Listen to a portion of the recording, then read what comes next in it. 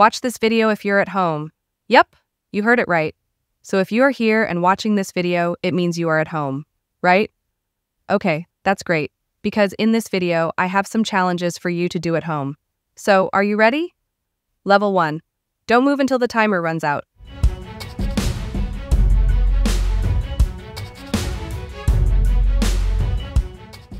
Like the video if you completed this level. Level 2. Guess the emoji from these words in 6 seconds.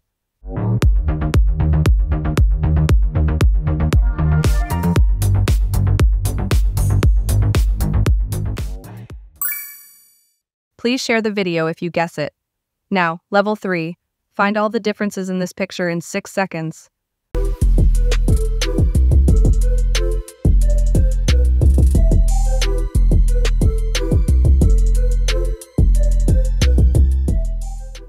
Well, guys, how many differences did you find?